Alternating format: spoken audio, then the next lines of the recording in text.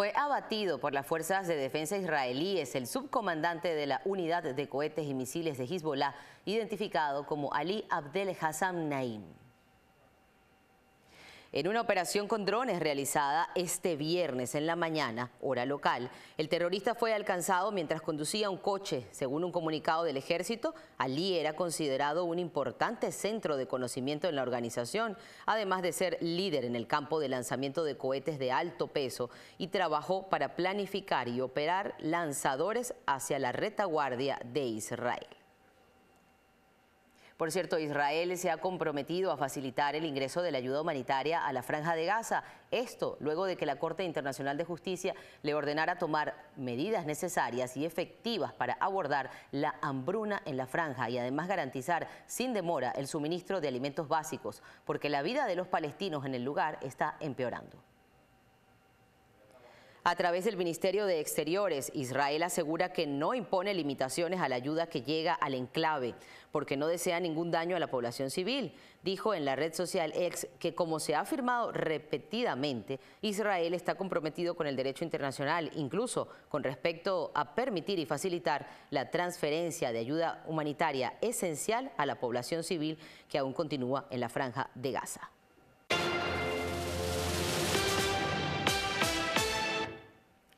Dos reclusos muertos y cuatro heridos es el saldo que deja un nuevo motín en una cárcel regional de Guayaquil, esto en Ecuador.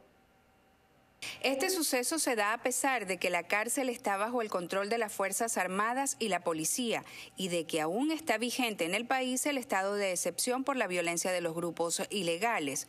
Según el general Víctor Herrera, comandante de la policía de la zona 8 que incluye a Guayaquil, en esa cárcel predominan los reclusos pertenecientes a la denominada banda de los choneros, liderada por el capo del narcotráfico Adolfo Macías, aliafito, quien se fugó de esa prisión en enero.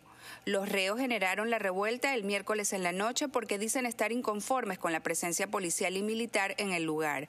Las autoridades retomaron el control este jueves. Se encuentran en la verificación de la situación de los heridos e investigación si los presos murieron por heridas de armas de fuego o blancas. El amotinamiento comenzó con la quema de colchones en medio de gritos y aparentes detonaciones de armas de fuego. Y la situación en Haití sigue tensa. Ahora, el líder criminal conocido como Barbecue, a quien se le atribuyen todos los sucesos de la isla, amenazó a la comunidad internacional.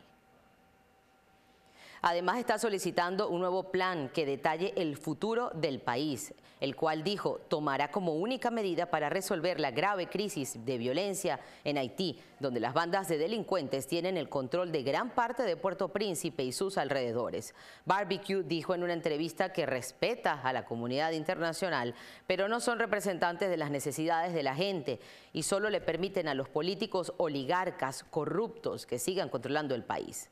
Advirtió también que los días venideros van a traer consigo cosas peores de las que hay ahora. en lo que se puede llamar una advertencia. ¿no? Recuerdo que todas estas informaciones usted las puede ver más ampliadas en, en las redes sociales de EBTV y también en nuestro sitio web ebtv.online.